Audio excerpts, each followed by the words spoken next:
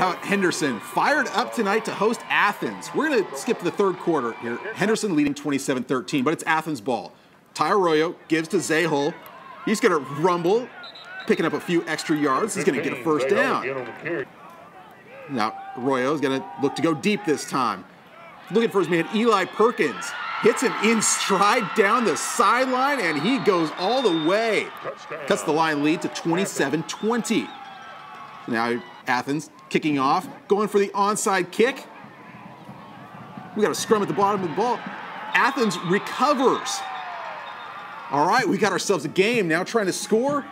Arroyo looking to tie things up, but he's going to get picked off by a Jaden Alexander. Henderson takes over. now Kobe Robinson. He's going to keep it himself. This was fourth and short. And yeah, he gets more than enough for the first down, rolling through defenders. So now, a little clearance. Robinson's going to go to the air.